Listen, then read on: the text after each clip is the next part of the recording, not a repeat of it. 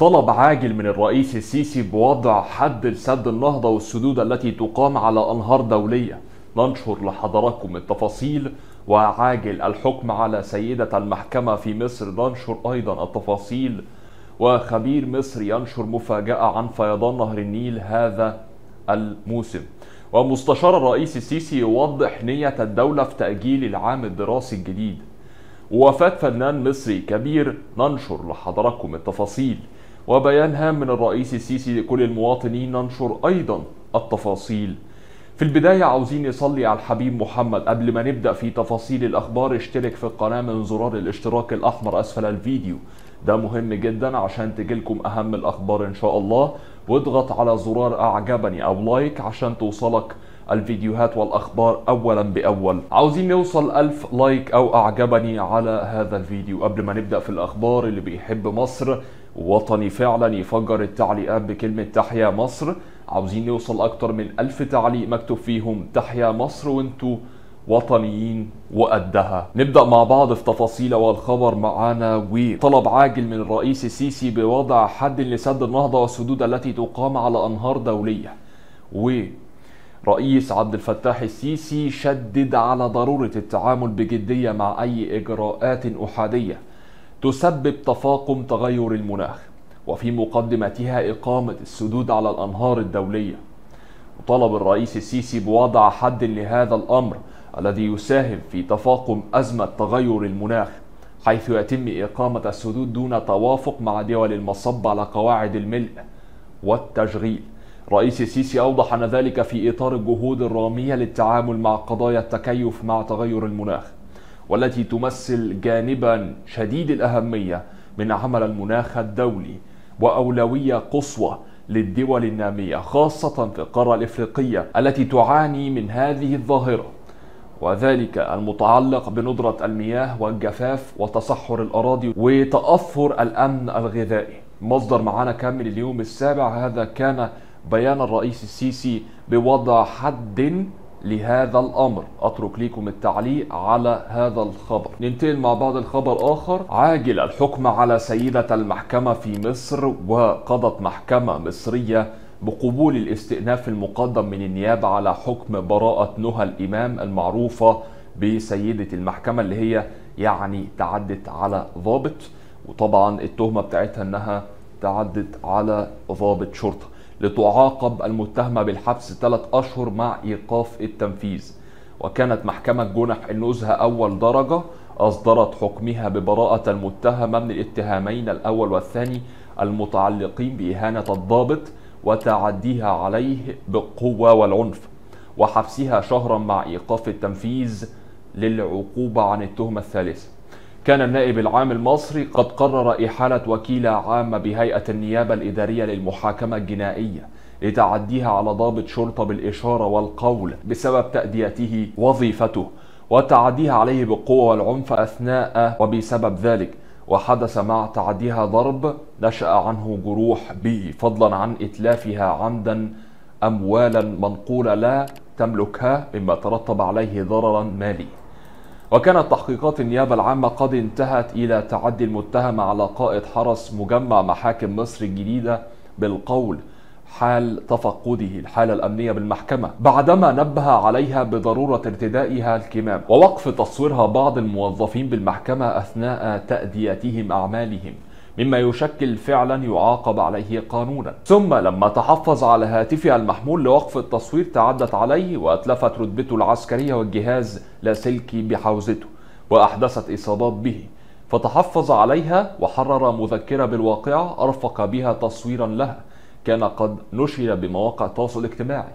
مصدر معانا كم من الشروق أترك ليكم التعليق على هذا الخبر. الهام والعاجل. يعني تم الحكم على سيدة المحكمة ثلاث أشهر مع إيقاف التنفيذ.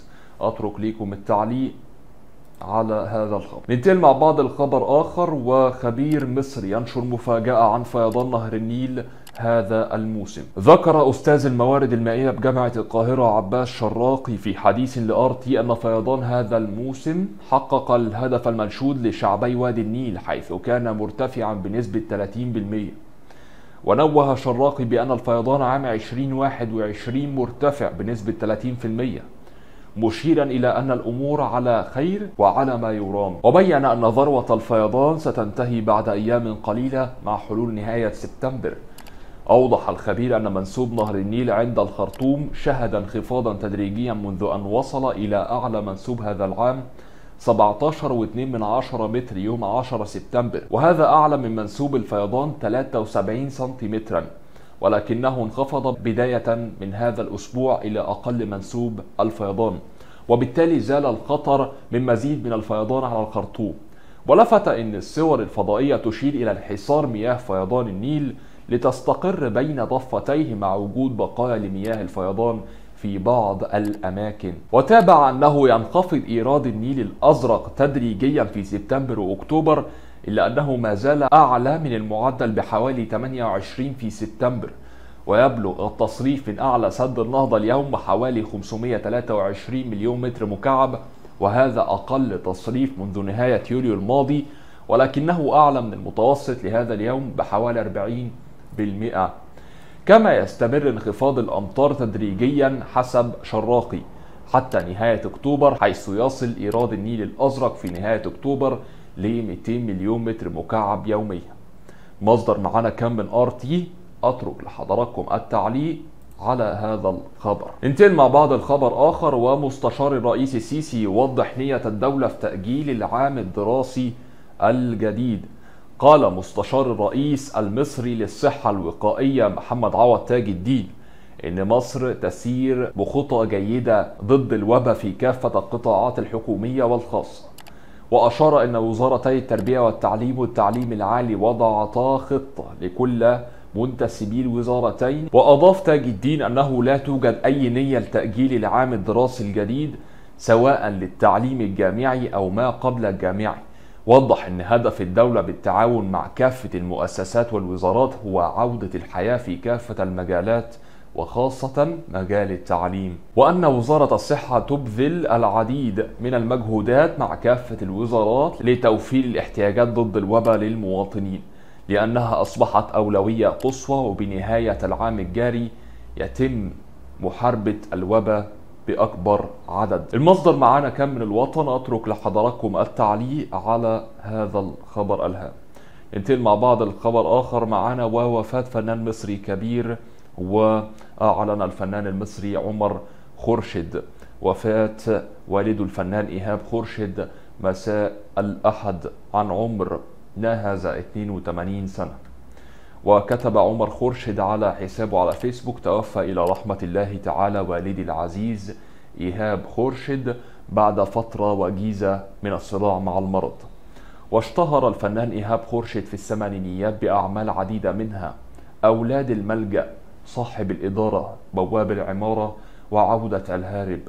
وإيهاب خورشيد هو نجل الراحل أحمد خورشيد أستاذ التصوير السينمائي والمنتجة الراحلة اعتماد خورشيد.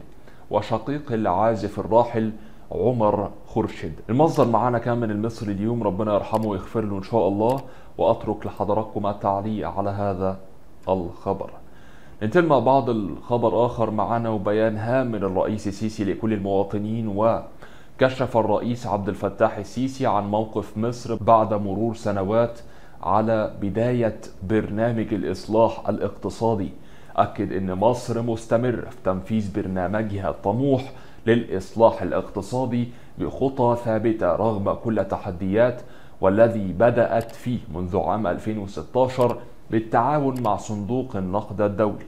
وأضاف الرئيس السيسي في كلمته الافتراضية أمام اجتماع الجمعية العامة للأمم المتحدة حول أهداف التنمية المستدامة أن برنامج الإصلاح الاقتصادي برهنت نتائجه حتى اليوم على صواب الرؤية المصرية تجاه أولويات ومتطلبات الإصلاح الاقتصادي وباتت محل إشادة دولية واسعة من مؤسسات التمويل الدولية ووكالات التصنيف الائتماني. وأكد أن النجاح الذي حققته مصر على صعيد التنمية الشاملة على مدار السنوات الماضية لم يأتي دون تضحيات. مضيفا أن المواطن المصري أثبت قدرته على تحمل الصعاب في سبيل بناء وطنه وتحقيق أهدافه وتطلعاته المشروعة. وذكر أن هذه الإصلاحات مكنت الاقتصاد المصري من تحمل تبعات الوباء وأتاحت للحكومة اتخاذ الإجراءات اللازمة لتخفيف من أثرها السلبية. مصدر معنا كم من صحيفة الموجز أترك ليكم التعليق على هذا الخبر الهام والعاجل. نروح لآخر خبر حزين معانا و وفاة وزير الدفاع المصري السابق محمد حسين طنطاوي عن عمر 85 سنة. توفى صباح اليوم الثلاثاء وزير الدفاع المصري السابق المشير محمد حسين طنطاوي عن عمر 85 سنة. وقد تعرض المشير طنطاوي لأزمة صحية قبل نحو ثلاث أشهر. وتولى المشير طنطاوي رئاسة مصر بصفته رئيسا للمجلس الأعلى للجيش المصري. بعد تنحي الرئيس الأسبق محمد حسني مبارك في 11 فبراير 2011 وظل على رأس السلطة حتى تسليم منصبه وأداء اليمين الدستوري في 1 يوليو 2012 بقرار رئاسي من محمد مرسي في 12 أغسطس 2012 وتخرج محمد حسين طنطاوي في الكلية الحربية المصرية عام 56 ثم كلية القادة والأركان وشارك في حرب 67 وحرب أكتوبر 73 المصدر معانا كامل المصري اليوم ربنا يرحمه ويغفر له إن شاء الله. ويجينا مع بعض لنهاية نشره الأخبار. أتمنى أكون خفيف على حضراتكم وما تقلتش عليكم إن شاء الله بإذن الله. ويعني اكتبوا لنا في التعليقات تحت أي حاجة شايفينها في المحتوى اللي أنا بقدمه. لو ينفع نعدل فيها أو نحسنها يعني بإذن الله إذا كان التصوير أو الصوت أو المحتوى اللي بقدمه يعني تعليقات حضراتكم مهمة جدا. كان معكم طبعا أبانوب المسؤول عن المونتاج تحية طيبة لي والعبد لله الفقير إسلام الأمير. إن شاء الله أشوفكم في فيديو جديد وقريب. والسلام عليكم ورحمة الله تعالى وبركاته.